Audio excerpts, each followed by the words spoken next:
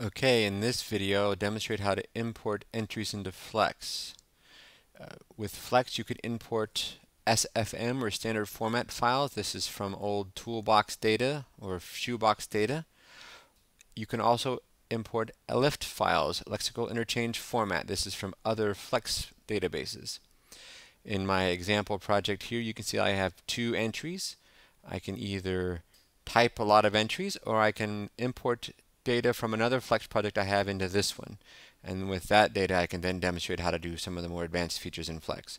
So rather than type a lot, I'm just going to import.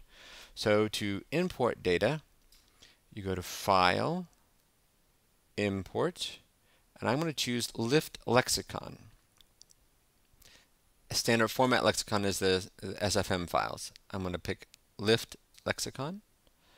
And then I'm going to browse to where the data is. This was on my computer in Documents. I had then saved export.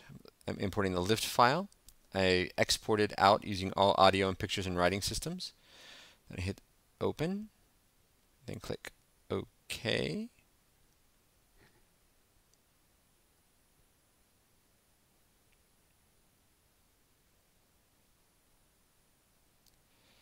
And hit the OK button here. I think it's bringing in a report. This is the report, 377 entries, 382 senses, deleting no entries.